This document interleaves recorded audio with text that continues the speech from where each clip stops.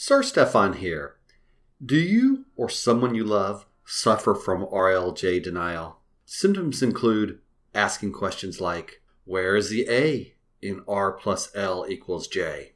One may also experience a need to ignore the significance of blue winter roses. But wait, there is hope, and we can help.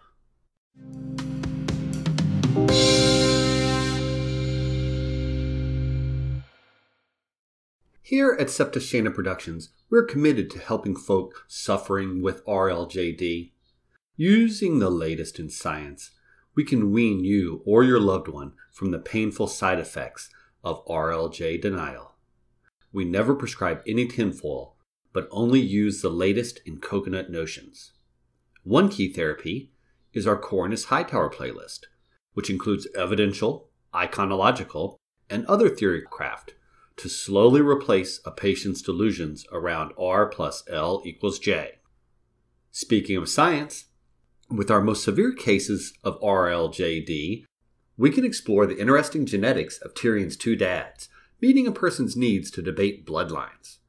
Now, many patients respond better with an entertainment focused treatment, like our pink letter theory battle. So, we do include this type of protocol.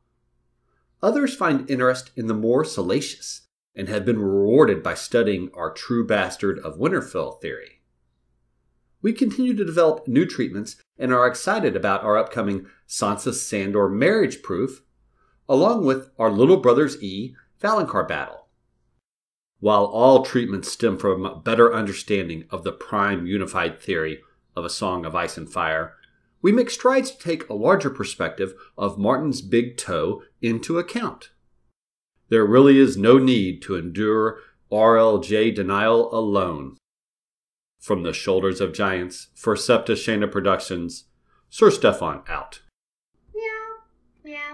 meow, meow, meow, meow, meow, meow.